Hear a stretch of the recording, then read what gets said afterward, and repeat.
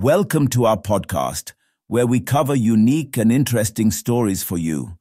In this episode, we will discuss scientists scanning a star system that may potentially host alien life.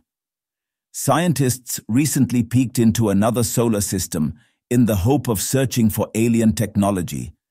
They scanned the system for 28 hours using the Allen Telescope Array but failed to locate any.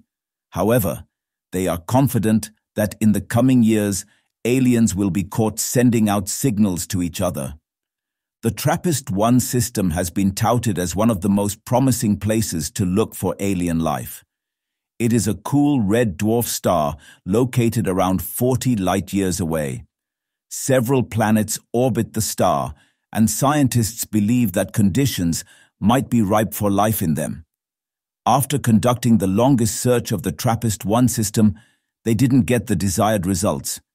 However, scientists are confident that the work will lead to the detection of alien signals in the future. The research has been mentioned in a paper that has been accepted for publication in the Astrophysical Journal. During the 28-hour search, they focused on planet occultations, or PPO, which happen when planets move in front of each other. Scientists were hoping that when this occurs, radio signals were likely being sent between the planets and so thought of capturing them. They did find some signals, but none that were of non-human origin. Millions of potential signals were traced, and 11,000 of them were seen as promising for a detailed analysis.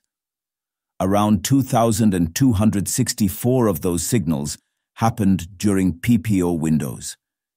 Even though no desired signals were located, scientists are aiming to fine-tune the methods to narrow down the focus area and the timing to find alien life one day.